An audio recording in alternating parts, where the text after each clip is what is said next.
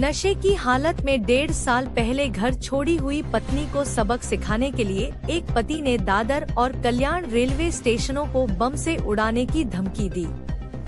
लेकिन नाला सोपारा की पेल्हार पुलिस ने महज दो घंटे में आरोपी को ढूंढ निकाला शुक्रवार रात करीब 11 बजे मीरा भाईंदर वसई विरार पुलिस कमिश्नरेट के कंट्रोल रूम में एक गुमनाम कॉल आई।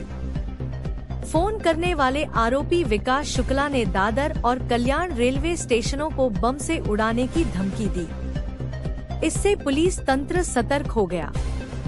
फ़ोन नाला सोपारा इलाके से आया था, इसलिए पेल्हार पुलिस इसकी जाँच में जुट गई।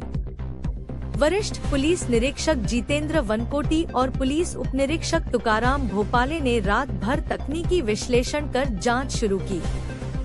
आरोपी का मोबाइल नंबर बंद था। पुलिस को जब इस फ़ोन की जानकारी मिली तो उसका पता केवल ओम शिवसाई चाल था।